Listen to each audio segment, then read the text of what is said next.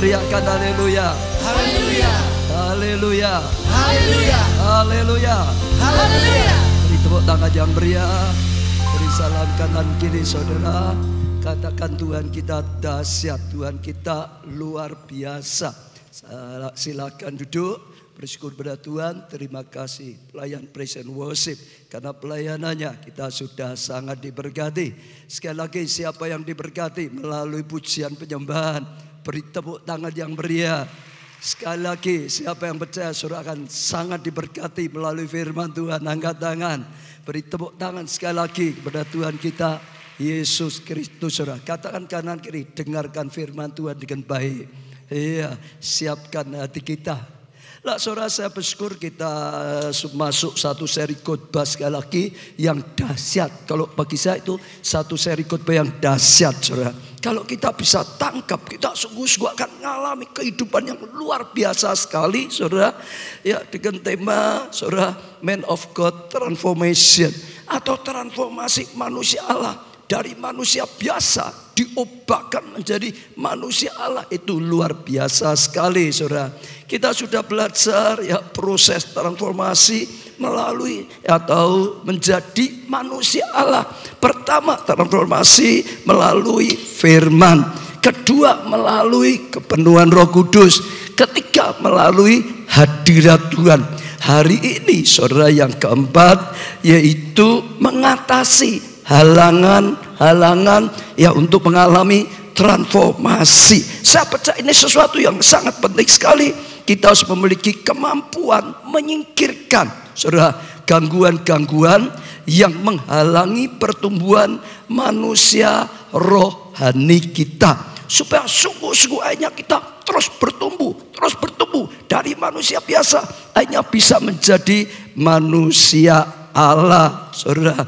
Jadi kita bisa ya oh terus berjalan, terus bertumbuh dan mengalami pertumbuhan yang luar biasa. Kita juga bisa li uh, lihat dalam perjalanan, ya apalagi sore yang sering di Jakarta, saudara bisa tahu saudara jarak yang harusnya saudara kalau jalan itu kosong bisa ditempuh 15 jam.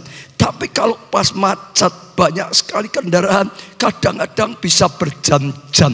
Saya pernah satu kali, saudara, mau ada perlu di satu tempat di Jakarta, naik pesawat, mendaratnya jam 10 sampai tempatnya jam 3 saudara 5 jam perjalanan saudara padahal kalau ditempuh saudara nggak sampai setengah jam kalau jamnya kosong saudara jadi kita bisa tahu saudara kalau ada penghalang-penghalang karena banyak kendaraan yang lain saudara.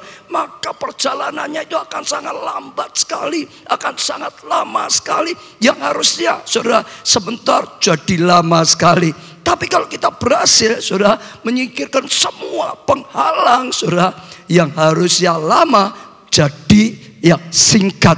Jadi cepat dan itu sesuatu yang luar biasa. Dan itu juga berlaku dalam kehidupan rohani kita. Saudara, kalau kita tidak bisa belajar menyingkirkan halangan-halangan dalam kehidupan rohani kita, maka lama sekali kita akan mengalami pertumbuhan rohani dari manusia biasa menuju ya transformasi manusia Allah akan makan waktu yang lama sekali, bahkan tidak sampai-sampai. Tapi kalau saudara bisa tahu Saudara bisa menyingkirkan semua halangan, saudara. Maka saudara tiba-tiba akan lihat kuasa Tuhan dinyatakan. Mujizat Tuhan dinyatakan. Saudara mengalami pertumbuhan yang luar biasa sekali. Dalam waktu yang singkat. Saudara bisa ya mengalami ditransformasi. Mencapai menjadi manusia Allah yang luar biasa. Ibrani 5 ayat 12 katakan sebab sekalipun kamu ditinjau dari sudut waktu. Jadi kalau ditinjau dari sudut waktu, diperhitungkan dari waktu, sudah seharusnya menjadi pengajar. Harusnya kalau sudah sekian lama itu sudah jadi pengajar. Ya, kamu masih perlu lagi diajarkan, malah diajari asas-asas pokok dari pernyataan Allah Jadi pelajaran-pelajaran yang dasar sekali dikatakan saudara. Dan kamu masih memerlukan susu. Bukan makanan keras. Masih butuh yang lunak-lunak. Oh diberi kata-kata yang baik. Oh dinasihati tegur saja nggak bisa. Yang keras nggak bisa saudara. Jadi kita bisa lihat dalam kehidupan Kristen atau orang Kristen di mana-mana sampai sekarang kita juga bisa lihat ada orang-orang tertentu mengalami seperti ini, seperti yang dikatakan dalam Alkitab, kalau ditinjau dari waktu harusnya itu sudah bertumbuh luar biasa, sudah lama kok jadi Kristen, harusnya itu sudah bisa mengajar, Saudara. Tapi masih harus diajari terus, bukan hanya sekedar diajari biasa, makin lama makin naik ya kelasnya, pengajarannya terus masih perlu diajar asas-asas dasar. Masih terus diajar pelajaran taman kanak-kanak secara rohani. Terus saudara, kalau cerita hebat, oh aku itu kamu belum lahir sudah Kristen gitu saudara. Oh aku sudah ke gereja puluhan tahun. Tapi saudara sama hidupnya, pengetahuannya, sifatnya masih saja seperti kanak-kanak rohani saudara. Saja setiap saudara juga bisa uji diri, koreksi diri. Karena kadang-kadang dalam kehidupan rohani ada ha-ha seperti ini. Sudah lama tapi tetap kanak-kanak rohani. Waktu tidak menjamin seseorang menjadi dewasa rohani, saudara. Harus ada kehidupan yang berkualitas, saudara. Pengikutan Tuhan yang kualitas sehingga mengalami pertumbuhan, pertumbuhan, pertumbuhan, bahkan pertumbuhan yang pesat. Ada orang belum lama ikut Tuhan, majunya luar biasa sekali, saudara. Dan itu mengalami sesuatu yang luar biasa. Apa saja yang bisa menghalangi dan mengganggu pertumbuhan rohani kita sehingga proses transformasi menjadi manusia Allah berjalan ya sangat lamban harus kita pelajari akan kita pelajari akan kita atasi sehingga kita bisa mengalami pertumbuhan yang luar biasa. Nah, yang pertama yang harus kita petik pelajaran virus dan bakteri atau godaan-godaan dosa secara kesehatan ya atau secara tubuh lahir ya dengan kehidupan rohani kita itu hampir sama.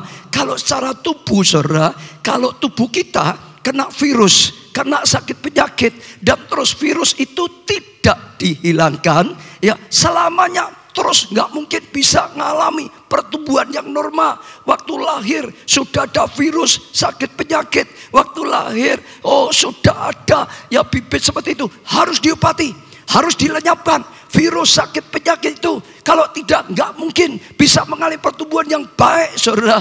Demikian juga dengan ya manusia rohani kita juga sama. Kadang-kadang ada dosa dosa yang akan bisa menjadi virus secara rohani.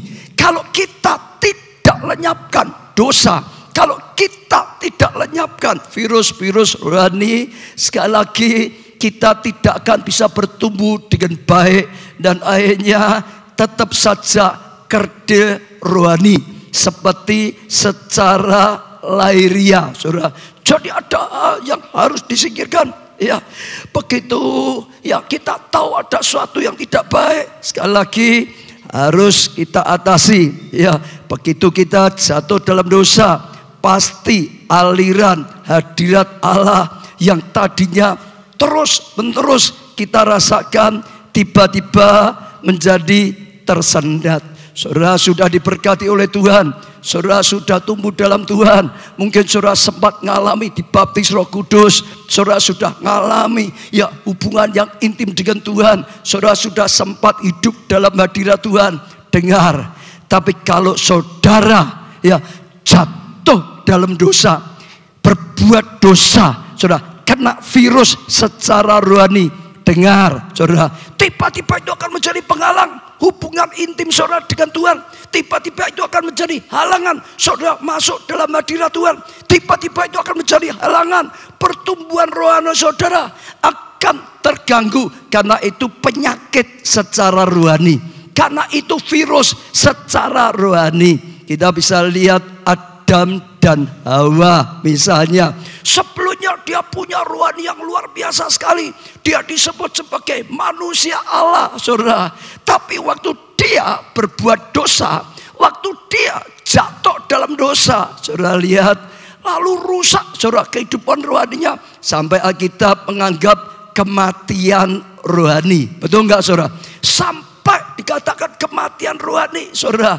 Ya, kalau sekali lagi saudara penghalang, penghalang seperti ini, dosa-dosa tidak pernah dilenyapkan atau dihilangkan selamanya. Akan tidak bisa bertumbuh selamanya tidak mungkin bisa menjadi manusia Allah terus saja menjadi manusia biasa. Sekalipun sudah dilahirkan di dalam Tuhan.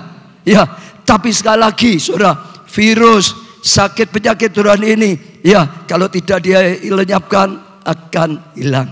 Sejak Pak Suryadi yang pertama uji lebih dulu supaya kita sungguh-sungguh bisa menjadi manusia Allah. Masih adakah penyakit-penyakit rohani yaitu dosa-dosa yang masih ada di dalam tubuh rohani kita, dalam kehidupan rohani kita. Saudara, kalau masih ada saudara harus sadar itu harus disucikan, itu harus diselesaikan, itu harus dilenyapkan. Kalau tidak, nggak mungkin saudara mengalami transformasi menjadi manusia Allah. Manusia Allah saja kalau ada hak seperti itu tidak dilenyapkan, dia akan gagal, dia akan jatuh lagi menjadi manusia biasa yang penuh dengan kelemahan, yang penuh dengan kekurangan, yang penuh dengan penderitaan, yang penuh dengan keterbatasan, saudara. Jadi saja coba uji dalam kehidupan kita. Ya, kadang-kadang setiap orang itu punya yang namanya dosa rahasia. Orang lain mungkin tidak tahu, saudara. Oh, keluarga mungkin tidak tahu, saudara. Pasangan mungkin tidak tahu, saudara. Orang tua atau anak tidak tahu, saudara. Oh, KKS di atasnya tidak tahu. Pendeta tidak tahu. Kadang-kadang yang namanya manusia, termasuk orang Kristen, termasuk pelayan Tuhan, termasuk pendeta. Sudah dengar? Kadang-kadang itu punya yang namanya, ya, apa? Dosa rahasia. Orang lain nggak tahu. Tapi kita harus tahu satu hal, Allah kita adalah Allah yang maha tahu. Saudara, kalau kita biarkan, maka nggak mungkin kita akan mengalami pertumbuhan. Malah kehancuran secara rohani. Harus dihancurkan, harus dilenyapkan, harus diselesaikan. Kalau tidak, kita akan menjadi penghalang. Penghalang kita mengalami ditransformasi menjadi manusia Allah. Saya beberapa waktu yang lalu cukup cukup bergumul. Saat saya mendengar banyak ya ya anak-anak Tuhan termasuk kadang-kadang pelayan Tuhan bahkan pendeta-pendeta besar jatuh dalam dosa saudara. Saya cukup bergumul saya cukup bertanya-tanya pada Tuhan Tuhan kenapa kalau saya pikir dia akan jenderal di dalam ya pelayanan, dia akan orang yang luar biasa sekali imannya. Dia orang yang sudah dipakai Tuhan luar biasa sekali. Kok bisa sampai jatuh seperti itu? Kenapa? Itu pun menjadi salah satu ya pertanyaan bagi saya. Itu menjadi satu pergumulan bagi saya dan sungguh-sungguh saya bergumul pada Tuhan. Lalu saya rasa Tuhan ingatkan satu hal seperti ini saudara. Orang itu makin diangkat, makin tinggi. Saudara dengar, tantangannya, godaannya juga makin besar. Bukan berarti tantangan, godaan makin kecil, enggak. Orang belum punya dengan orang yang sudah melimpah itu beda. Belum punya kok istri satu saja kadang-kadang setengah mati kok mikir istrinya banyak-banyak lah gitu saudara. Betul enggak saudara? Tapi kalau sudah uangnya melimpah-limpah kadang-kadang ya godaan itu akan lebih besar lagi. Betul saudara? Ya, kadang-kadang itu orang belum sukses kok mau sombong, yang disombongin apanya? Gagal kok, malu mau sombong. Tapi begitu sukses, kadang-kadang godaannya lebih besar untuk menjadi sombong itu lebih besar. Saudara, bahkan dosa-dosa yang lain. Saudara, satu hal yang saya sempat dapatkan yang baru ada begini. Orang itu makin dibawa oleh Tuhan makin dalam, bahkan makin kita dibawa oleh Tuhan dalam kesucian, makin peka terhadap dosa. Orang yang sudah biasa berkecimpung dalam lumpur dosa, ada dosa sudah nggak ada rasanya kadang-kadang, sudah biasa. Misalkan kertas, memang kotor semua, saudara tambah satu titik, dua titik, empat titik, sepuluh titik, ya kotoran nggak ada apa-apanya. Tapi kalau kertas putih, makin bersih, makin putih, sampai nggak ada kotorannya. Saudara coba pakai pulpen, pakai pensil, kasih sedikit titik saja langsung kelihatan. Makin peka, saudara. Makin peka. Dan iblis, saudara, justru menyerang saat seperti itu. Jadi orang dibawa makin sukses, orang dibawa makin kedudukan tinggi, orang dipakai Tuhan makin luar biasa, dibawa makin masuk dalam kesucian Tuhan, hadirat yang luar biasa. Sudah dengar, godaan juga makin besar, bukan makin kecil, makin peka. Kalau dibuat mudah beginilah, orang yang sudah ya hidupnya dengan pelacur atau kalau laki apa ya yang supaya adil ya. Kalau perempuan pelacur, kalau laki apa ya? Apa? Gigolo. Ya, kalau yang sudah gitu-gitu, lihat perempuan ya setengah begini gitu biasa tidak ada apa-apanya. Tapi yang biasa hidupnya sudah kudus gitu saudara. Baru lihat sedikit sudah bingung gitu saudara. Kelepek-kelepek-kelepek gitu saudara. Kenapa? Betul. Itu sesuatu yang tidak biasanya.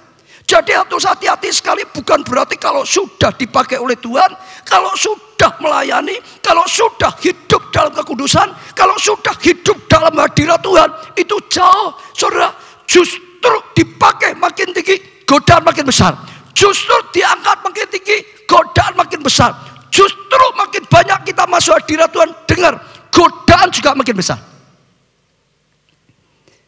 Harus sungguh-sungguh jaga kekudusan. Lalu waktu saya tanya kenapa sampai anak Tuhan jatuh dalam dosa, pelayan Tuhan, bahkan pendeta-pendeta besar kadang-kadang jalur dalam dosa, jawabannya satu, kalah dengan mengalahkan ini loh biasanya. Dirinya sendiri, dagingnya sendiri, kalah. Pikirannya tahu, nggak boleh. Tapi kadang-kadang kalah dengan keinginan dagingnya sehingga akhirnya jatuh. Hari ini saudara tidak untuk orang lain tapi biarlah kita belajar untuk diri sendiri. Tuhan mau pakai kita menjadi manusia Allah, saudara. Ya, kita harus menghancurkan godaan dosa. Kita harus menghancurkan ya dosa yang ada dalam kehidupan kita. Kita harus buang, ambil pertobatan yang sungguh-sungguh. Jangan terus hidup dalam lumpur dosa. Belajar seperti Yusuf jauhi dosa. Bahkan belajar seperti Daud bertobat saat jatuh dalam dosa. Akan dihancurkan.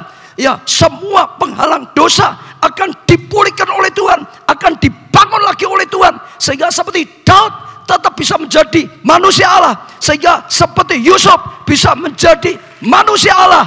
Dan itu sesuatu yang luar biasa. Saya waktu persiapan ini saya rasa Tuhan ya dorong saya mempelajari kehidupan Daniel. Ya ada beberapa poin yang kita pelajari dalam kehidupan Daniel. Ya semua ada saudara. Misalnya ini Daniel 6 ayat yang kelima.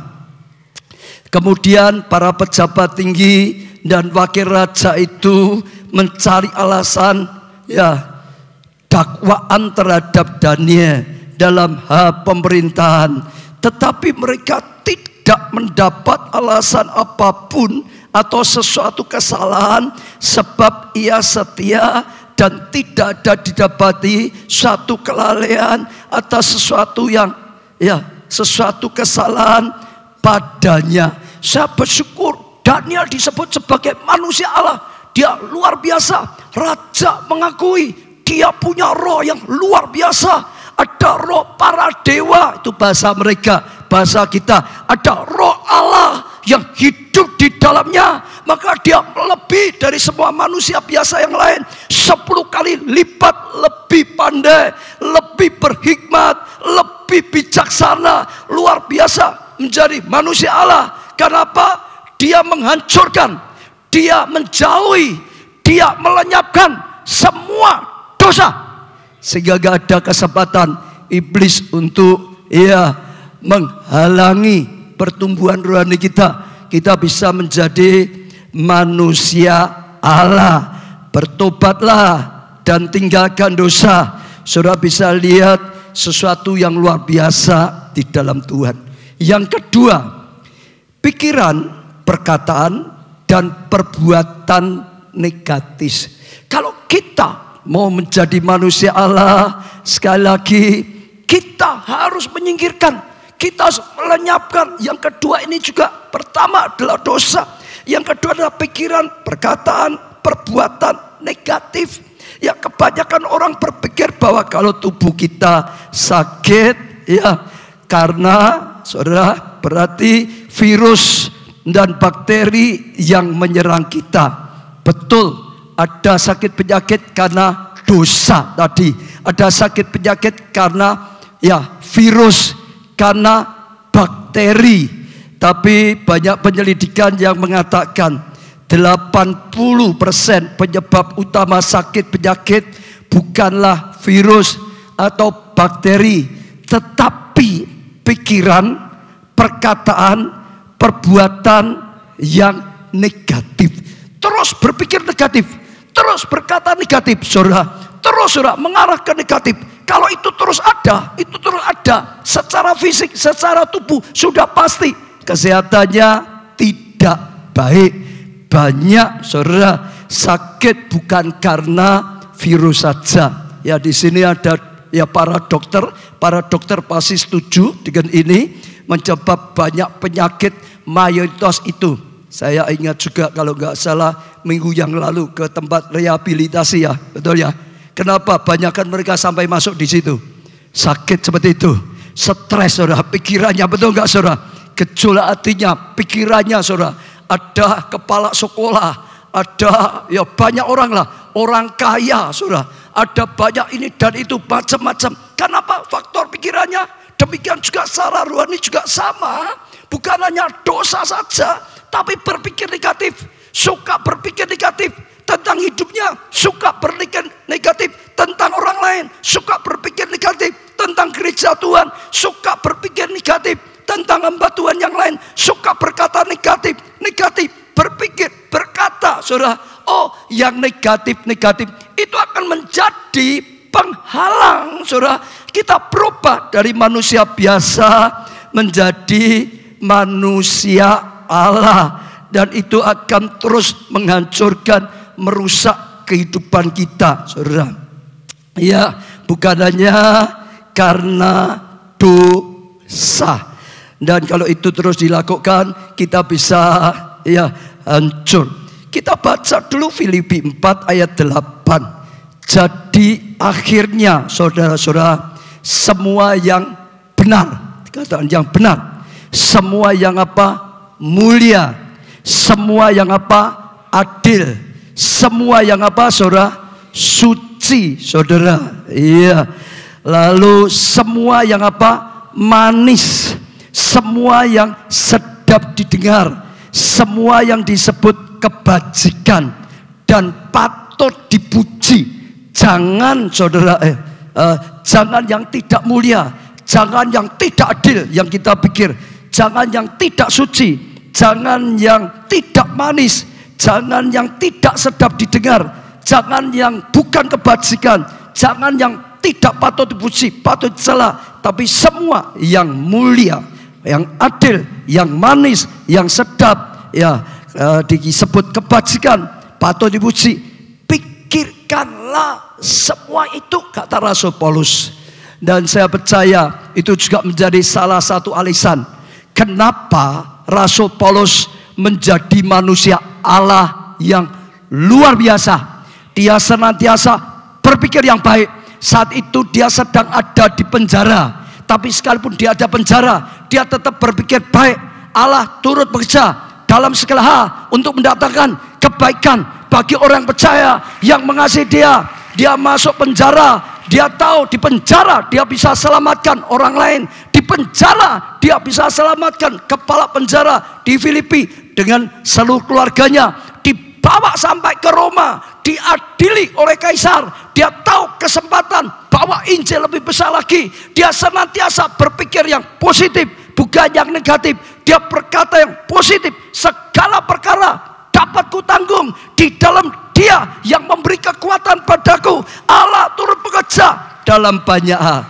Maka dia tetap kokoh menjadi manusia Allah. Orang yang terus banyak mikirnya negatif. Orang yang terus banyak ngomongnya negatif. Sudah dengar. Pasti rapuh hidupnya. Pasti rapuh. Secara kesehatan, secara rohani, pasti rapuh. Enggak mungkin menjadi manusia Allah menjadi manusia biasa saja yang rapuh. Kapan tuh saya sempat ditanya orang, saya pikir betul saudara. Saudara lihat ya di tempat rehabilitasi itu banyak kan mereka sehat atau sakit ya. Orang gila itu kalau saudara ketemu dengan orang gila apa pak? apa pak? Biasanya tubuhnya sehat atau sakit? Malah sih banyak yang sehat itu kecuali kena virus tadi ya saudara ya. Banyak kan cara presentasi malah sehat. Kenapa? Tidak mikir, oh, saudara. Betul tak? Ayo, besok katanya mau ke gereja ya. Ada berapa ya saudara lihat. Malah kadang-kadang tubuhnya malah sehat. Kenapa? Enggak banyak mikir yang negatif-negatif. Yang banyak mikir negatif. Wah ini tuh buku ringkih. Nanti kena angin masuk angin. Lah, mudah masuk angin. Ya betul saudara. Betul nggak saudara? Betul? Kita berkata. Apa yang kau perhitungkan tentang dirimu sendiri. Itulah jadinya dirimu. Kalau engkau banyak pikir negatif tentang dirimu, itu jadi. Dirimu jadi orang yang negatif. Kalau engkau banyak berpikir negatif tentang keluargamu, itu jadi keluargamu. Kalau engkau berpikir banyak negatif, itu justru yang terjadi. Alkitab juga berkata, seperti yang kau katakan di hadapan Tuhan, dalam doa, dalam apa, itu dilakukan oleh Tuhan. Oh 12 pengintai, yang 10 Tuhan sudah rencanakan bagus sekali tapi terus berpikir negatif, terus berkata negatif. Tuhan berkata seperti yang mereka pikirkan, seperti yang mereka katakan, jadilah mereka. Mereka berkata nggak bisa masuk karena ada raksasa. Kita seperti belalang diinjak mati. Jadilah seperti itu saudara. Semua. Kenapa? Pikiran negatif. Harusnya umat Allah tapi tetap kalah. Harusnya manusia Allah tapi tetap kalah. Hanya karena apa yang kedua? berpikir, berkata yang negatif. Betul? Saya ajak saudara juga coba uji diri. Apa yang saudara pikirkan tentang dirimu? Apa yang saudara pikirkan tentang keluargamu? Apa yang saudara pikirkan tentang kelompok selmu? Apa yang kau pikirkan tentang pekerjaan keuanganmu? Apa yang kau katakan juga masa depanmu? Itu saudara. Itu menentukan pertumbuhan rohani saudara baik atau tidak. Kalau ada yang terus negatif, negatif itu penghalang yang harus dilenyapkan. Iblis itu penuh dengan negatif. Negatif itu minus. Iblis senantiasa kirim yang minus. Iblis senantiasa kirim yang negatif. Tuhan itu plus, lebih. Tuhan itu senantiasa berikan yang positif, yang lebih. Bahkan di atas kayu salib, palang yang minus dipalang jadi plus. Semua yang minus harusnya dalam hidup kita sudah dirubah menjadi plus. Sudah dirubah menjadi positif. Sudah dirubah menjadi kelimpahan. Sakit penyakit dirubah menjadi kesehatan. Kekurangan dirubah menjadi kelimpahan. Hukuman diubah menjadi anugerah. Jangan berpikir lagi negatif. Jangan berkata lagi yang negatif. Tentang hidupmu, tentang keluargamu, tentang studimu, tentang pekerjaanmu, keuanganmu, tentang gereja kita, tentang pelayanan kita. Karena itu penghalang yang harus dilenyapkan. Hari ini saya uji diri lagi. Adakah penghalang yang kedua? Kalau saudara bersihkan, saudara akan mengalami kasih karunia, anugerah yang luar biasa. Beri tepuk tangan. Betul saudara, betul saudara. Saya waktu persiapkan firman Tuhan, Saudara baca aja di rumah Daniel 6 ayat 21 sampai ya seterusnya. Ceritanya saja saya ceritakan saudara. Ya pejabat yang lain iri kepada Daniel. Lalu dia ingin dijatuhkan. Bukan hanya dijatuhkan, dia ingin dibantai supaya habis. Lalu mereka mufakat membuat jebakan. Wah, rajanya dipuji-puji. Raja engkau hebat. Jadi semua orang harus ya memuji raja. Engkau jawaban bagi rakyat. Enggak boleh ada siapa pun yang minta sesuatu kecuali minta tolong pada raja. Kalau ada yang nekat minta kepada yang lain, orang itu harus masukkan di gua singa. Karena ya terlalu rajanya hebat hebat kenapa tidak minta pertolongan pada raja. Raja dibombong terus besar hatinya. Lupa dirinya. Lalu diizinkan ada keputusan. Barang siapa saja selama waktu yang ditentukan berani meminta pertolongan yang lain, dia akan dimasukkan di gua singa. Saudara. Disetujui, distempel oleh raja. Dan waktu Daniel dengar, dia kaget. Karena itu jebakan bagi dia. Dia itu harus berdoa setiap hari. Wah, itu bisa dianggap salah, itu bisa ditangkap, bisa dimasukkan di gua singa, dia bisa diterkam singa, dia bisa mati. Karena apa? Keputusan siapa itu? Keputusan siapa, saudara? Raja, saudara jangan salah loh, saudara. Iya, itu bahaya sekali loh, saudara. Tapi luar biasa, saudara. Waktu dia akhirnya ditangkap, ya dia tidak ya tetap berpikir negatif, dia tetap berpikir positif. Dia bisa lihat sebetulnya di balik itu adalah jebakan dari pejabat-pejabat yang lain yang iri. Ya, rajanya korban penipuan dari pejabat yang lain. Dia tetap berpikir positif terhadap rajanya. Dia tetap saudara memuji rajanya dia tetap setia pada rajanya dan akhirnya mendapatkan kasih karunia, mendapatkan anugerah yang luar biasa. Tetap perkataannya benar, tetap langkahnya benar dan dia tetap menjadi manusia Allah. Dia tetap berpikir yang positif. Bagi Allah tidak ada yang mustahil. Allah yang dia sembah adalah Allah yang punya kuasa. Allah yang dia sembah adalah Allah yang penuh kasih. Allah yang dia sembah adalah jawaban bagi dia. Maka terjadi seperti yang dia pikirkan. Seperti yang dia percayai saudara. Kuasa terjadi. Mujizat terjadi. Jadi yang kedua hilangkan semua pikiran perkataan negatif. Selama saudara berpikir negatif, ngomong yang negatif, itu menjebak diri sendiri. Enggak pernah bisa keluar. Saudara keluar dari itu. Perkataan itu punya kuasa. Pikiran itu bekerja di alam roh. Punya daya cipta. Perkataan itu melontarkan. Kuasa itu mengalir keluar. Menciptakan sesuatu saudara. Jangan berpikir, berkata, bertindak yang negatif. Tapi berpikir, berkata, bertindak yang positif. Yang ketiga, saudara, emosi-emosi yang merusak kalau tadi baru sampai di pikiran, kalau sekarang sudah sampai hati, saudara. Ya, emosi-emosi yang merusak. Sakit penyakit dalam tubuh kita tidak disebabkan oleh satu faktor tunggal saja. Akan tapi lebih daripada sebuah pola, saudara. Ada orang sakit terus, sakit terus, sakit terus, belum bisa sembuh-sembuh. Mungkin ada di antara saudara saat ini juga ya ada yang sakit berobat nggak sembuh. Ya minum obat nggak sembuh, dikasih apa pun nggak sembuh, sekian lama nggak sembuh, bahkan berdoa yang nggak sembuh, saudara. Oh berpuasa nggak sembuh, saudara.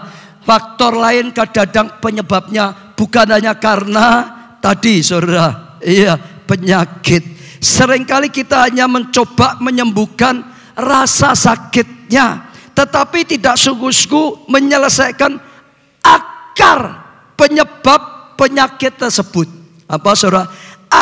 Akar penyebab penyakit tersebut. Katakan saudara, akar penyebab penyakit tersebut. Kadang-kadang kita hanya, oh gejalanya sakit kepala supaya sembuh sakit kepala. Kita nggak cari akar sakit penyakit. Saya nggak tahu, tapi menurut catatan yang saya terima, menurut penelitian, sudah ada banyak yang dokter, ya katanya sel kanker, benar apa enggak ya? Itu sebetulnya sekitar enam bulan itu sudah mati, lalu akan muncul sel baru lagi, saudara. Lah, sel baru lagi itu tergantung, saudara. Banyak orang kena kanker atau sakit apa pun karena gejolak itu, pahit hati, sakit hati, luka hati, kecewa. Kalau ini tidak diselesaikan, saudara, sebetulnya sel kanker yang lama itu mati. Tapi munculnya akan muncul sel kanker yang baru, sama saja. Munculnya akan muncul sel penyakit yang baru. Karena sumbernya dari dalam belum dibersihkan. Dari dalam belum diselesaikan. Dulunya juga sehat. Tapi karena ada kepahitan di dalamnya, karena ada sakit hati di dalamnya, ada luka kebencian di dalamnya, itu yang mengeluarkan zat yang merusak tubuh kita itu terus keluarkan keluarkan sehingga ya sel lama mati sel baru pun tetap penyakit sel kanker lama mati sel kanker baru akan muncul lagi muncul lagi muncul lagi dan tidak pernah selesai betul lah itu bukan hanya merusak tubuh itu menghancurkan saudara kehidupan rohani kita orang kecewa, orang sakit hati, orang pahit hati. Itu merusak semuanya. Merusak hatinya, merusak tubuhnya, merusak rumah tangganya, merusak pelayanannya, merusak masa depannya, merusak semuanya. Saudara masih ingat bersaksi waktu yang lalu saya diminta mendoakan seorang di ya sebuah hotel di kota Solo. Lalu waktu saya datang, saya ajak ngobrol-ngobrol dia dan saya dapati sakitnya ini karena masalah tadi kepahitan. Dia punya kepandaian di bisnis ya konveksi, tapi nggak punya modal. Dia berusaha sekian lama, nggak ada modal, nggak bisa. Lalu ada satu temannya mau keluar modal join. Lalu hasilnya ada bagi dua. Dia lihat pikir ini kesempatan. Wah kejam mati-matian. Kejam mati-matian. Bangun suku-suku. Akhirnya maju usahanya konveksi itu. Waktu maju pesa temannya lalu ngomong sekarang joinnya selesai ya. Kongsinya selesai ya. Dibagi dua ya. Dia dikasih uang setengahnya. Tapi yang joinnya ini ambil apa? Termasuk izinnya termasuk mereknya diambil semua. Dia marah, dia nggak bisa terima, tapi nggak bisa apa-apa. Semua izinnya nama temannya, mereknya nama temannya, semua dipegang temannya. Dia merasa dihianati, dia merasa dimanfaatkan, dia sakit hati, dia pahit hati, dia nggak bisa terima. Sifatnya jadi pemarah, oh sifatnya jadi mudah emosi, rumah tangganya jadi panas, akhirnya nggak semangat kerja lagi. Akhirnya saudara kena sakit penyakit, kena jantung juga. Nah waktu itu saya langsung tahu ini bukan masalah lain. Ini diobati seperti apa pun nggak akan sembuh. Ini harus diselesaikan sumbernya tadi. Sebelum dia bisa mengampuni, nggak akan sembuh. Mau didoakan nggak akan sembuh. Mau dikasih obat seperti apa pun nggak akan sembuh.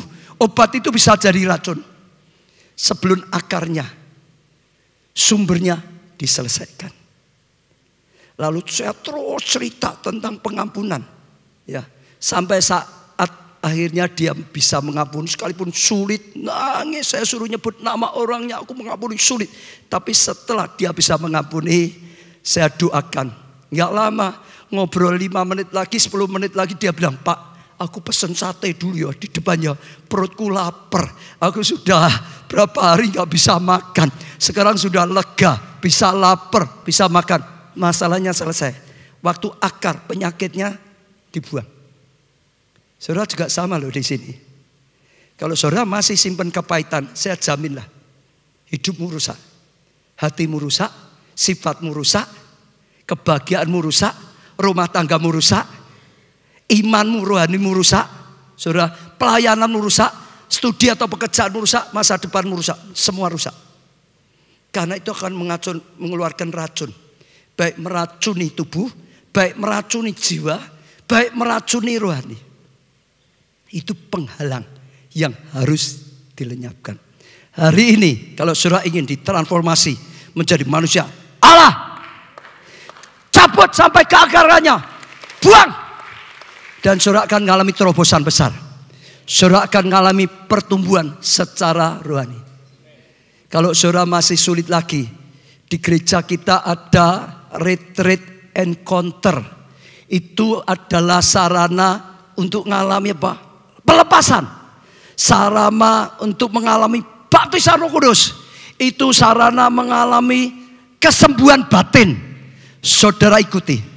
Supaya saudara bisa dilayani. Tapi otomatis juga saudara harus mau terbuka. Otomatis saudara memang mau mengampuni. Di situ dilayani. Supaya kuasa Tuhan bekerja. Di situ saudara mau diselesaikan. Roh Kudus berkarya. Roh Kudus tolong. Dan saudara akan mengalami kasih karunia yang luar biasa. Betul? Mudah kok saudara. Saudara masih punya kepahitan atau tidak? Mudah kok. Kalau ada khotbah atau orang nyebut nama orang tersebut, hati saudara sudah nggak bisa terima. Itu masih simpan kepahitan. Nggak bisa hanya dilupakan di otak. Kalau masih di hati, itu akan muncul lagi. Nah, betul? Betul? Kadang-kadang juga ada orang dengar firman Tuhan tersinggung. Itu sebetulnya penyakit dalam hidupnya yang belum hilang. Perpuluhan langsung marah. Biasanya nggak pernah mengembalikan perpuluhan. Itu sudah otomatis lah. Yang terus marah-marah itu sebetulnya itu penyakitnya dia yaitu karena kena penyakitnya. Penyakit itu kena dikit aja sudah sakit sudah. Oh, oh gitu kan saudara. Tangan saya kalau nggak sakit saya gini nggak apa-apa. Coba tangan saudara sakit di sedikit oh gitu saudara marah. Nah itu penyakitnya.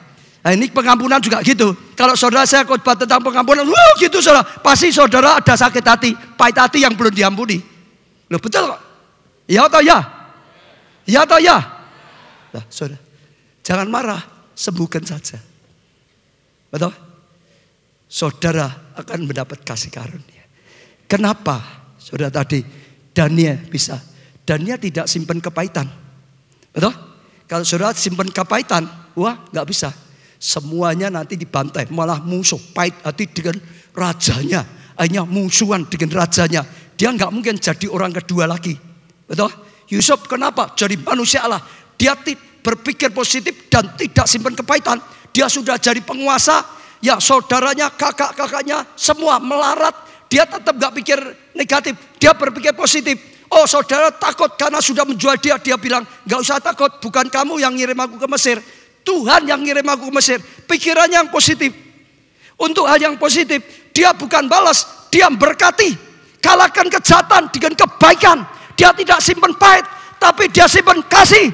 Orang seperti Yusuf bisa jadi manusia Allah yang dipakai Allah luar biasa. Jadi Allahnya Allah luar biasa.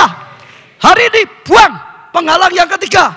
Kepahitan, sakit hati, kecewa, luka hati. Buang. Supaya saudara bisa bertumbuh menjadi manusia Allah. Orang lihat saudara bisa lihat karya Allah dalam hidupmu perkataan Allah dalam hidupmu. Kasih Allah dalam hidupmu. Kenapa? Buang semua yang negatif, buang semua dosa, buang kepahitan dalam hati dan mengalami sesuatu yang luar biasa. Salah satu ya pembentuk pola dalam hidup kita sehingga tubuh kita terkondisi untuk terkena ya berbagai penyakit Sakit penyakit adalah emosi-emosi yang merusak. Tadi sudah saya jelaskan. Ya, jadi jangan izinkan saudara. Iya, emosi-emosi yang merusak ini akan menjadi penghambat besar untuk kita ya bertransformasi menjadi manusia Allah. Saudara masih ingat perumpamaan yang diberikan oleh Tuhan Yesus? Ya, ya benih firman Tuhan ditabur digambarkan ada empat macam. Yang pertama di pinggir jalan. Betul saudara? Dengar lewat saja. Iblis ambil. Saudara pulang ke gereja. Dari gereja tanya. Gimana khotbahnya? Bagus apa? Mbuh. Nggak ngerti saudara. Sudah gak masuk. Otak saja nggak masuk saudara. Apalagi hati. Betul saudara. Ya semoga bagus gitu saja. Hanya lewat saja. Ngalamun macam-macam. Taburnya nggak sampai di hati. Pinggir. Ada yang ditabur di tanah yang berbatu-batu. Terima sedikit saja. Tanahnya sedikit. Tumbuh sedikit sudah habis lagi. Nggak sampai kedalaman. Terima sedikit saja. Nanti setelah itu akan hilang lagi habis lagi, dilupakan, nggak lama sudah lupa. Betul? Ada yang ketiga disemak duri. Tadi apa? Kekhawatiran dalam hati. Ya, khawatir dalam hati, pahit hati, sakit hati dan macam-macam. Orangnya akan terhimpit dan akhirnya tidak bisa bertumbuh, saudara.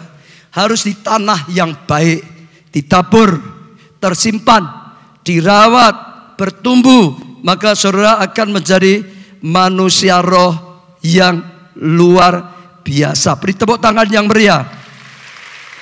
Maka kita berkata Amsa 423 jagalah hatimu dengan segala kewaspadaan karena dari situlah terpancar kehidupanmu. Jaga hatimu apa? Dengan segala kewaspadaan. Segala apa pun alasannya. Jangan diizinkan merusak dan bercokol dalam hati saudara. Ya, saudara mengalami kasih karunia. Yang keempat, saudara, lingkungan yang tidak sehat atau pergaulan rohani yang tidak baik. Secara saudara kesehatan, lingkungan yang tidak sehat akan membuat tubuh kita juga tidak sehat. Misalnya lah, tinggal di tempat yang jorok kotor banyak di situ bakteri. Saudara sudah ya muda juga tubuh saudara, ya akhirnya kena mungkin bakteri. Tempat yang lembab misalnya, yang berjamur lah atau air yang kotor lah saudara. Lingkungan saudara di situ ada kimia yang bisa merusak kesehatan, yang bisa merusak paru-paru. Yang penting tinggal di lingkungan yang tidak sehat, akan membuat tubuh saudara juga mudah jadi tidak sehat. Secara rohani juga akan sama. Kalau kita tinggal dalam pergaulan yang tidak baik, yang tidak sehat, saudara dengar, maka rohanimu juga sangat mudah akhirnya menjadi sakit. Rohanimu sangat mudah akhirnya juga menjadi tidak baik. Seperti seperti kesehatan tubuh tadi, saudara. Seperti apa lingkungan rohani kita, seperti itu pula kita akan jadi. 1 Korintus 15 33 dikatakan, janganlah kamu sesat. Sesat itu salah langkah. Betul saudara? Salah, saudara tersesat. Kalau saudara pergi ke suatu tempat harusnya ke sana, saudara tersesat ke lain tempat. Enggak pas, enggak sampai gitu. Jangan kamu sesat. Pergaulan yang buruk merusak kebiasaan yang baik. Apa yang membuat kita tersesat? Yaitu pergaulan yang tidak baik. Saudara, itu bisa merusak semua yang baik. Kalau kita suka kumpul dengan orang tadi saudara, suka berbuat dosa, pergaulan tidak baik, sadar atau tidak sadar, godanya akan besar, mudah juga akhirnya ikut berbuat dosa. Kalau kita suka kumpul dengan orang yang terus pikirannya negatif, perkataannya negatif, saudara kumpul terus, sadar tidak sadar, lama-lama pikiranmu juga jadi negatif, perkataanmu juga akan menjadi negatif. Kalau saudara suka kumpul dengan orang yang pahit hati, kecewa terus, ya itu lingkungan saudara. Sadar atau tidak sadar, seperti virus, saudara akan tertular. Saudara lama-lama juga jadi pahit hati, sakit hati, kecewa. Secara rohani sama. Kalau ada orang yang suka gosip, saudara terus kumpul di orang-orang lingkungan sukanya gosip, suka jelek-jelekan orang, suka jelekkan gereja, terus kumpul terus. Lama-lama sadar atau tidak sadar, saudara akan tertular juga.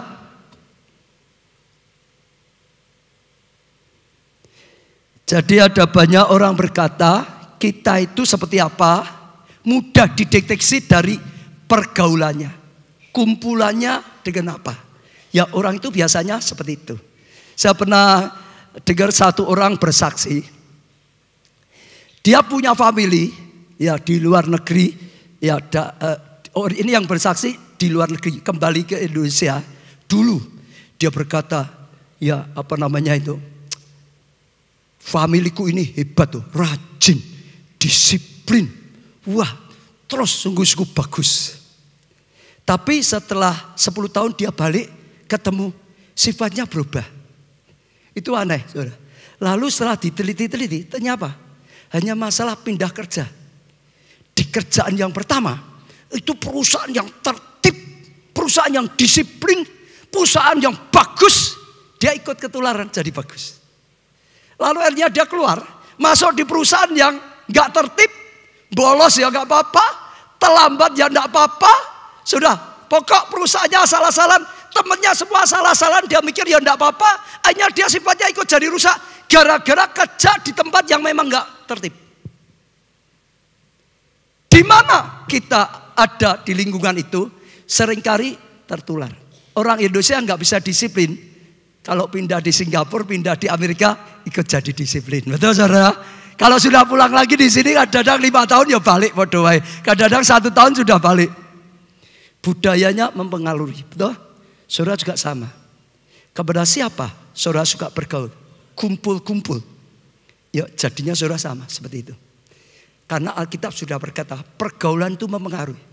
Kalau engkau suka bergaul dengan orang yang pesimis, sadar atau desa rohmu jadi pesimis. Saudara suka bergaul dengan orang yang negatif atau orang yang lama atau apa pun. Saudara akan jadi seperti itu. Tapi sebaliknya, saudara suka bergaul dengan orang yang on fire. Bang! Sadar tidak sadar, saudara akan jadi orang yang on fire. Bang! Saudara suka bergaul dengan orang imannya besar. Sadar atau tidak saudara, saudara akan jadi sama. Lama-lama imanmu besar. betul. Ya, saudara ikuti terus firman Tuhan yang lemah, ya lemah. Saudara ikuti terus firman Tuhan yang bagus, saudara juga dibang. Lingkunganmu akan membentuk saudara. Saya sudah sering berkata, hati, pikiran itu tergantung yang kita izinkan masuk, termasuk tubuh. Kita suka lingkungannya makanan yang nggak sehat, yang nggak sehat. Betul nggak saudara? Pikiran juga begitu, hati juga sama seperti itu.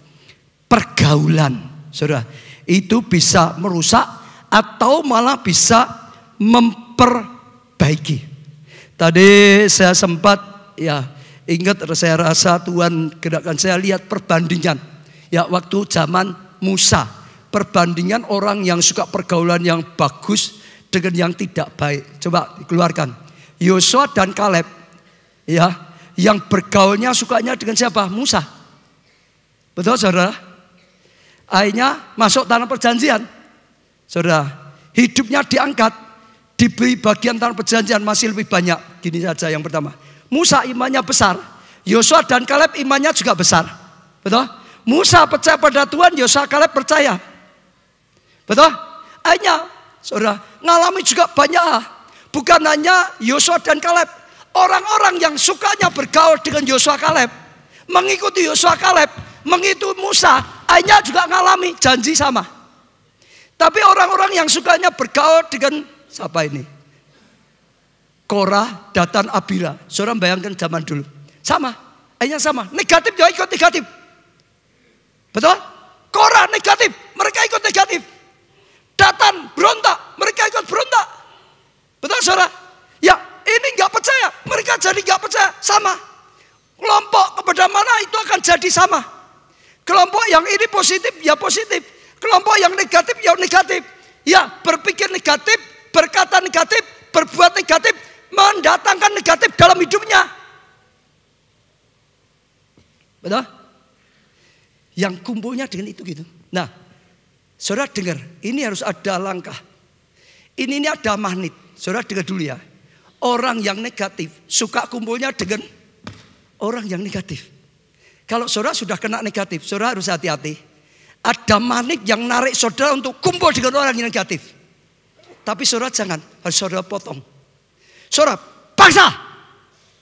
Tinggalkan yang negatif ke yang positif. Saudara akan nanti diobati oleh yang positif. Pikiranmu akan positif, hatimu akan positif, perkataanmu akan positif. Kalau saudara terus kumpul di lingkungan yang negatif terus, gosip terus, saudara hidupmu rusak. Masa depanmu rusak.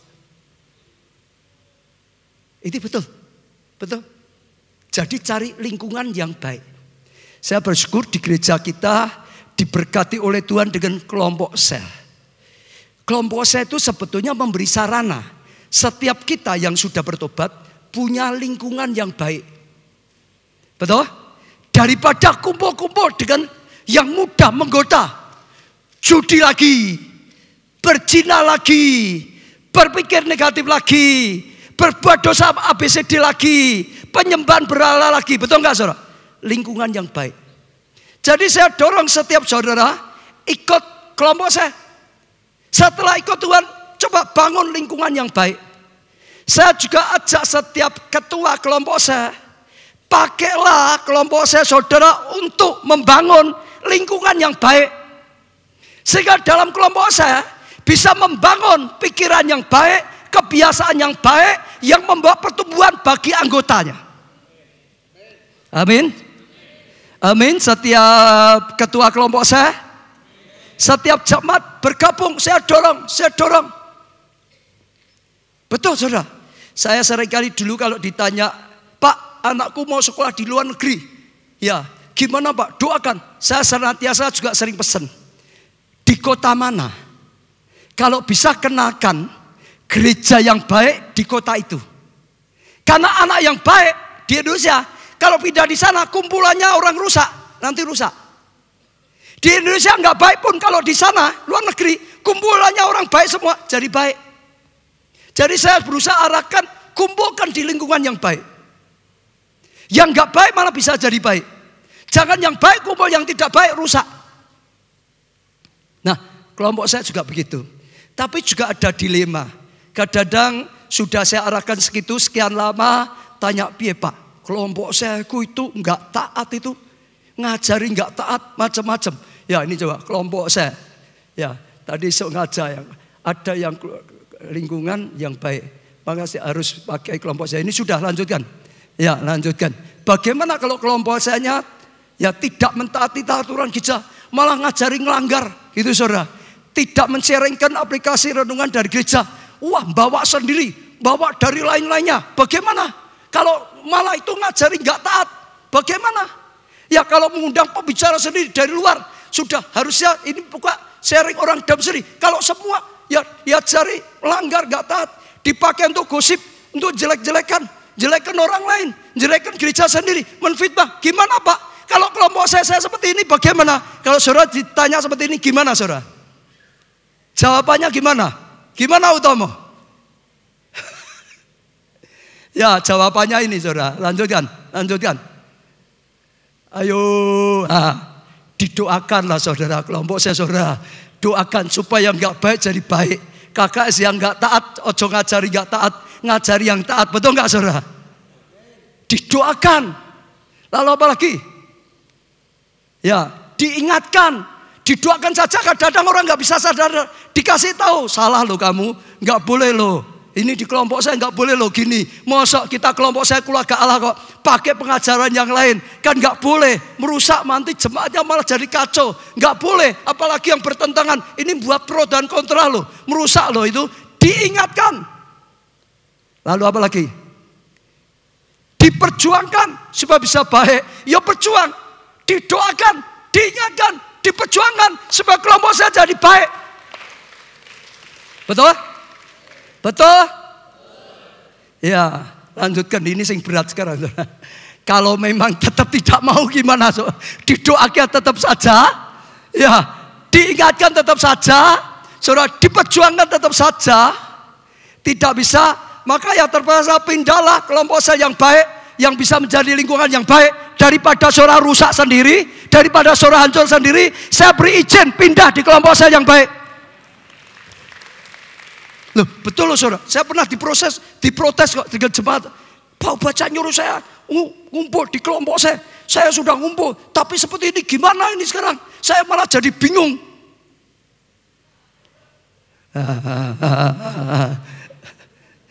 Caplek sebelah, ayo KKS. Sing baik semua. Ajari yang baik kepada anggota saudara. Jangan saudara ngajari yang tidak baik. Itu masalah jadi kelompok yang tidak baik. Setuju saudara? Setuju? Betul saudara. Loh itu penting loh saudara. Saudara lihat ya. Yusuf. Di rumah Potifar dia bagus ya. Tapi digoda terus istri Potifar. Kalau dia tidak tinggalkan, dia bisa jatuh. Saya pernah ngomong toh. Satu hari digoda terus dia tetap tolak. Tapi satu hari istri Potifar nyuruh pegawainya beli permen di luar negeri. Pergi semua gitu saudara. Tinggal dia dan Yusuf saja saudara. Deketi Sob. Sob, Yusuf. Kalau dia tidak tegas. Sus, Yesus lama-lama bisa jatuh. Betul? Bukan hanya itu. Saya sering ingatkan Yesus berkata, matamu satu bisa membuat engkau jatuh cukup saja buat saja. Daripada dengan dua mata masuk neraka. Kakimu satu bisa membuat kau dua-dua kaki masuk neraka. Buang saja. Lebih baik satu kaki masuk surga daripada dua-dua rusak. Betul? Betul saudara? Gitu. Sehingga nanti jadi bagus. Tadi, ayo, kalau yang ikuti tadi, siapa nama tadi? Selain Yusuf itu tadi siapa? Eh? Bukan, yang yang yang negatif. Bani Korah, Datan Abira yang ikuti harusnya sadar. Kalau terus nggak bisa harus pindah, ikut Yosua saja, ikut Kaleb saja, ikut terus. Mereka akhirnya ikut binasa semua. Ikut negatif semua, ikut berontak semua, ikut berbuat jahat semua, akhirnya hancur semua. Jangan. Ya, diem semua, deg-degan. Mungkin kelompok saya ada yang seperti itu. Amin. Saya ajak ayo semua bangun yang bagus. Ya, lanjutkan. Ya, sekarang apa ini sekarang? Ini cerita pergaulan, Saudara. Iya, Elisa, Saudara lihat dengan nabi yang lain beda. Elisa suka bergaul dengan ya apa namanya? Elia, akhirnya dia berhasil. Nabi yang lain negatif semua akhirnya nggak berhasil. Daniel, saudara pelajar di Alkitab, dia punya yang luar biasa, empat orang. Dia jadi tim kelompok sel yang positif, yang bagus, teguh, dan akhirnya sukses semua dalam kelompok selnya Daniel. Saudara baca nanti Daniel 2 ayat 16 sampai 19 di rumah saudara. Saya percaya itu bagus sekali. Ya, tambah satu saudara, tambah satu. Ini nggak apa-apa ya satu ya. Saya baru pulang saudara pergi ke desa tempat kelahirannya bapak ibu saya di Tiongkok, saudara. Namanya Fuji. Saya kagum gak pernah saya nyangka, tapi gak punya waktu jelaskan. Wah kemajuan selama 10 tahun itu luar biasa. Dari desa yang sangat ketinggalan, yang sangat melarat sekali. Nanti kapan kalau ada waktu saya ceritakan, berubah kota Solo ketinggalan jauh Semarang saja kalah saudara menurut saya. Perubah luar biasa lah. Ada banyak sekali itu ada gambar beberapa saudara. Tapi ada satu yang hebat secara rohani. Saya nggak pernah terpikirkan. Saya itu mau berangkat saudara. Cari visa di sana. Istri saya visanya langsung keluar. Saya nggak keluar. Dikirim formulir tanda tangan. Pernyataan. Di sana tidak akan membawa agama. Jadi saya harus menandatangani saudara. Pernyataan karena, karena paspor saya ada tulisan pendeta, saya itu pendeta. Jadi ada pertanyaan, ada pernyataan, harus saya buat pernyataan. Sudah dikirim, nggak diterima lagi. Harus datang ke sana, ke Jakarta sendiri. Jadi saya terpaksa ke Jakarta dulu. Wawancara dulu, janji dulu saudara. Tidak boleh bawa agama. Pokok nggak boleh sana untuk urusan agama. Itu, nginjili orang nggak boleh. Ya sudah, saya pikir itu sebetulnya saya di sana jujur ya memang ya membawa keselamatan ya saudara. Betul kan saudara? Di mana pun kita selamatkan jiwa termasuk membawa oleh-oleh ya salah ya beberapa ya tentang gereja kita salah satunya Alkitab dari ya Israel dari uh, tanah perjanjian mau saya kasihkan pendeta di sana. Lah tapi sudah tanda tangan nanti saya bawa ketahuan malah ditangkap. Jadi nggak ada yang saya bawa semua saudara. Saya tinggal semua ya sudah. Tapi waktu saya di sana saya kaget. Sudah tahu enggak? Di belakang rumah orang tua saya masih punya rumah. Di belakangnya itu ada gereja sedang bangun. Sedang bangun saudara. Luar biasa. Itu salah satu cabang. Lalu saya ketemu dengan pemimpinnya. Di gereja induknya jemaatnya 10 ribu lebih. Dia punya 30 kurang lebih 30 30 lebih bukan kurang 30 lebih cabang. Jadi dia berkata kalau dijumlah semua sekitar 30 ribu jemaatnya. Yang lebih saya kaget di Fuji itu ada sekitar 500 gereja. Eh, saya kaget. Dan malah mereka tambah lagi.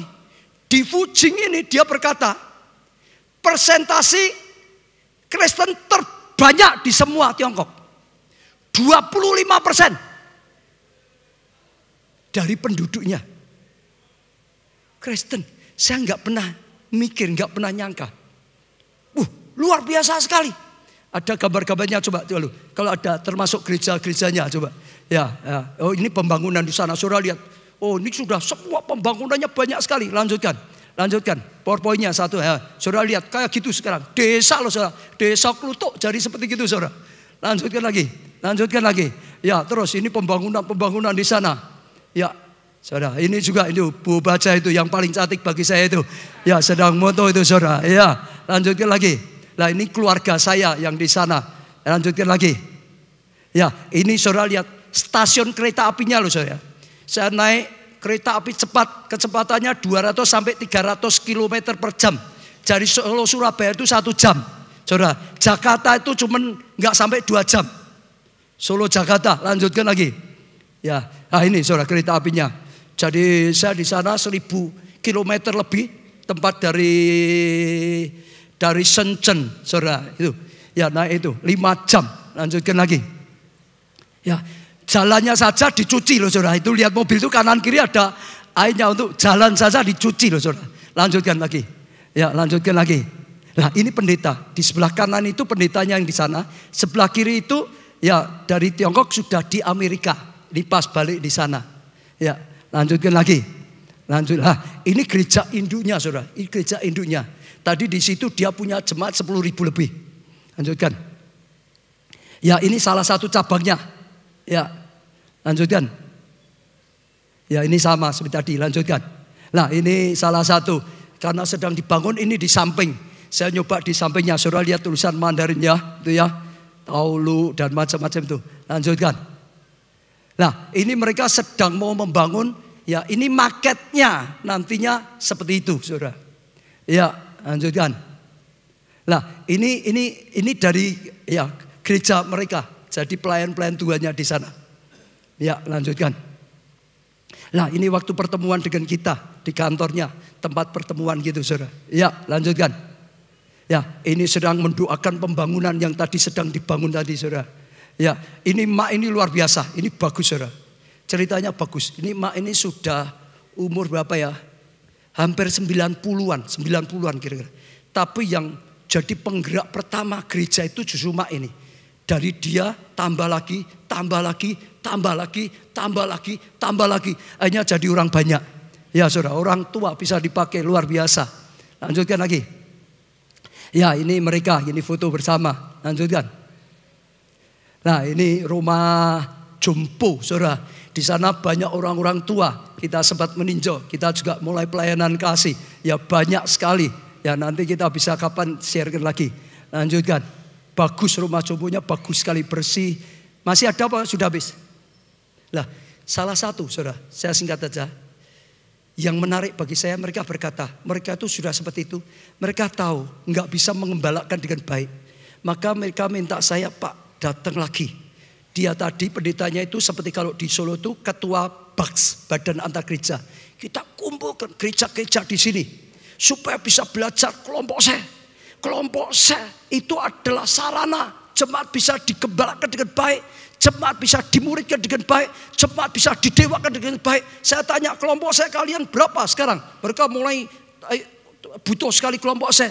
Baru 60 jemaatnya 10 ribu lebih, kelompok saya baru 60. Mereka rindu, kita datang untuk bisa bangun buat gerakan kelompok saya. Karena mereka tahu hanya dengan kelompok saya, mereka bisa mengembalakan bagus. Saya nggak tahu itu indunya saja 60 atau termasuk cabangnya 60 saudara. Kalau termasuk cabangnya sekitar 30 ribu. Kelompok saya. Sekali lagi saya katakan kelompok saya. Katakan sebelah ayo kelompok saya. Ayo kelompok saya. Tapi kelompok saya yang baik saudara ya. Jadi lingkungan yang baik. Terakhir sekarang yang terakhir saja. Yang terakhir, yang terakhir. Iya, pola hidup yang salah itu bisa jadi penghalang atau tabiat manusia lama, saudara. Ya kesehatan tubuh jasmani kita sangat dipengaruhi dengan pola hidup kita. Saudara, pola hidup. Ada orang itu punya pola hidup, suka makannya nggak sehat, terus menerus, terus menerus. Memang sukanya gitu. Ada orang punya pola hidup males. Memang males, pola hidupnya males. Ya ada orang punya pola hidup terlambat. Kalau ke mana-mana pasti terlambat, saudara. Pertemuan ya pasti terlambat. Ke gereja ya pasti terlambat lah. Ke kelompok saya ya pasti terlambat. Itu sudah jadi pola hidupnya. Ya toh, ada yang gitu toh. Ada yang rajin, ada yang males, betul? Ada yang sukanya lelat, mau di mana-mana pun sama. Dulu gereja kita dimulai di daerah sini, ya terlambat, oh, di Salam Riyadi terlambat, Kenapa terlambat? Jauh. Terus sekarang gereja kita di dekat, ya sama, tetap terlambat sama saya. Itu saudara sudah jadi tabiat. Saudara dengar, segala sesuatu yang kita lakukan terus menerus, itu akan menjadi tabiat kita. Itu akan menjadi pola hidup kita. Yang kita lakukan terus menerus. Dan semua yang kita lakukan terus menerus, itulah yang membentuk diri kita. Tadi, kalau memang sukanya makanan tidak sehat, sudah jadi pola hidupnya nggak mikir sudah. Pokok makan enak sudah titik. Sehat tidak sehat ya, ya sudah pasti badannya akhirnya terpengaruh. Juga tidak sehat. Kalau dia pola hidupnya memang males. Bangunnya siang, kerjanya sedikit, belajarnya sedikit, mikirnya sedikit, ciaknya yang banyak ya lama-lama jadi pola hidupnya melarat. Loh betul kok saudara, betul nggak? Pola hidup itu adalah suatu yang dilakukan terus menerus. Dan lama-lama jadi kebiasaan. Pola hidup jadi itu akan menentukan keadaan kita. Betul? Tadi hidup dalam dosa. Terus dibiarin terus. Lama-lama jadi pola hidupnya. Memang pola hidupnya kehidupannya penuh dengan dosa. Pikiran yang negatif dibiarin terus. Lama-lama memang sudah biasa mikir negatif. Suruh positif sulit. Betul? Biasa kotor. Itu jadi pola hidupnya. Ya pagi nggak sikatan, mau tidur ya nggak cuci kaki, nggak apa-apa. Itu sudah jadi gaya hidupnya. Suruh bersih sulit. Betul saudara? Sebaliknya orang yang sudah biasa bersih. Di tempat yang kotor sulit nggak bisa. Itu sudah jadi pola hidupnya. Sudah jadi gaya hidupnya. Orang yang biasa bangun pagi suruh siang nggak bisa. Di sini aja lah pola hidupnya, pola gaya hidupnya duduknya saudara tetap sama terus itu jadi gaya hidup saudara pokoknya itu sudah tempatku tak booking saudara situ situ terus saya kalau mau cari jemaat datang nggak gampang kok saudara biasanya di mana ya lihat di sana mesti ada di kalau nggak ada ya nggak datang biasanya gitu ini saja saya tarik depan nggak sulit saudara balik lagi ke belakang betul nggak saudara sudah jadi gaya pola hidupnya ditarik di masa balik belakang ya toh ya kalau ini lain memang sudah dipasang di Terus menerus jadi pola hidup. Sekarang kalau tidak di depan malah bingung. Malah kok aku ditaruh di belakang bingung lagi.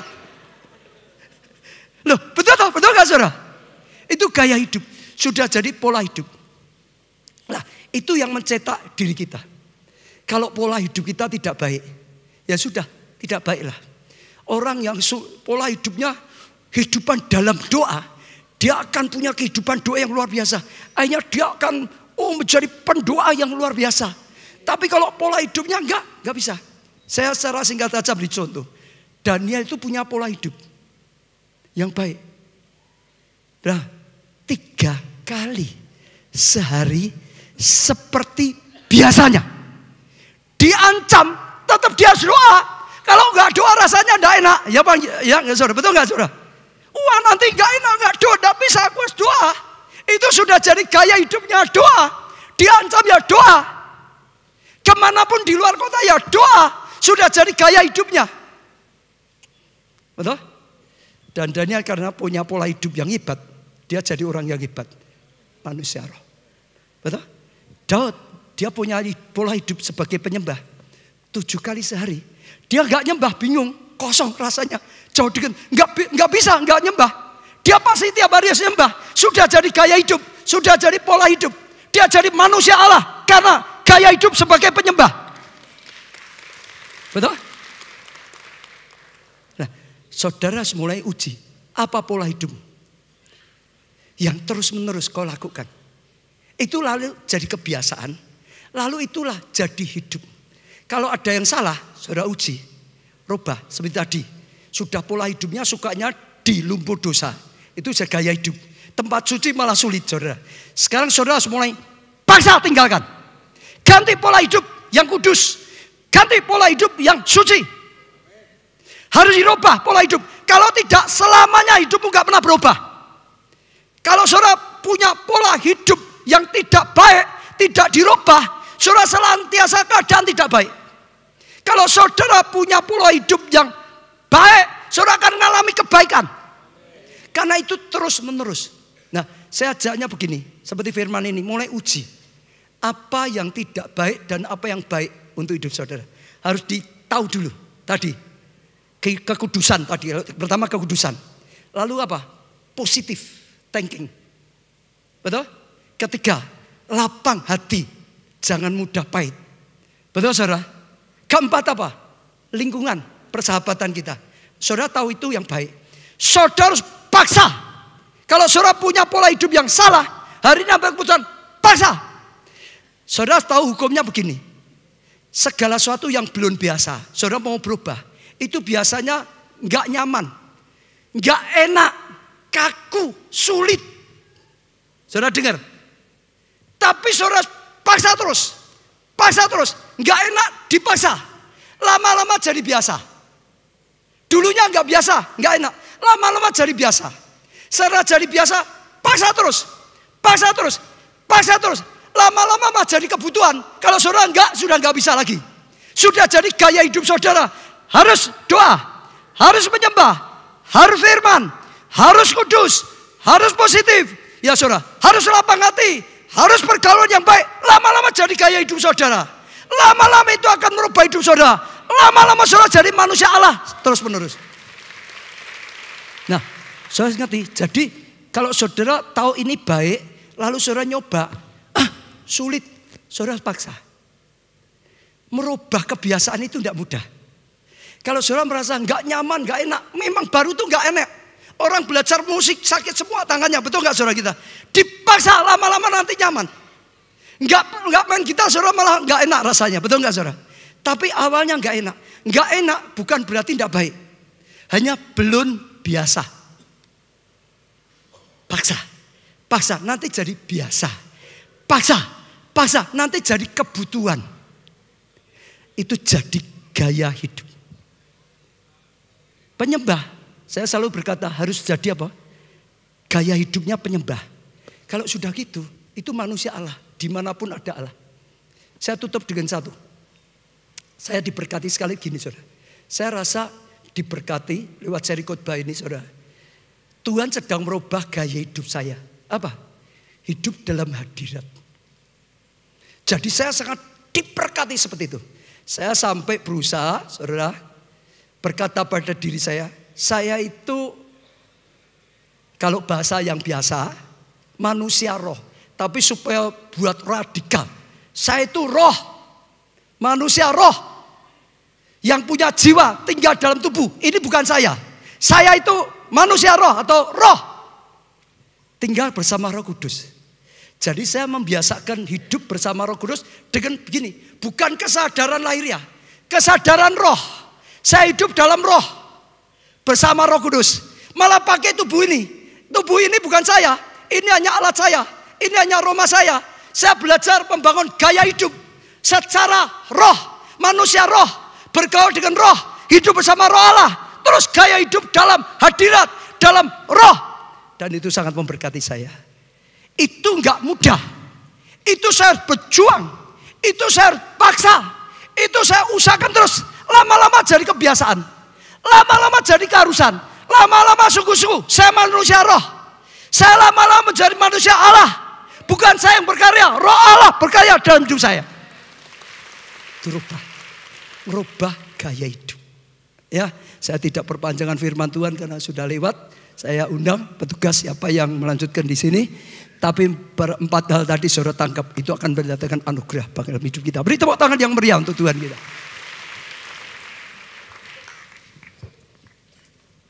Siapa yang bertugas? Sekali lagi beri tepuk tangan yang meriah saudara.